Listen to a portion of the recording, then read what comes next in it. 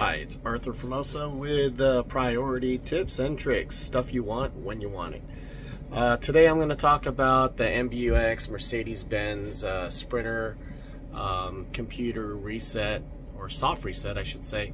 Um, this occurs when uh, black screen and nothing really works and the only thing you can say is like, hello Mercedes. How can I help? This works but the screen's dead. What do you do to take care of this?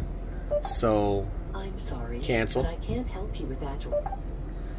And uh, so what you're gonna do is a little tip here that I found out that uh, goes to soft reset your system.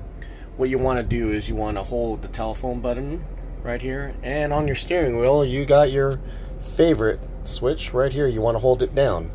So when you when you hold those two buttons, it resets. After you hold those two buttons, you'll see the Mercedes symbol come on and it does a soft resets and this gets your monitor back in working order without deleting any information you have on the system. It just does a soft reset and hopefully this can help you out to a lot of people out there that uh, don't know what to do with their system when their monitor goes down. Hope this helped. Once again, subscribe.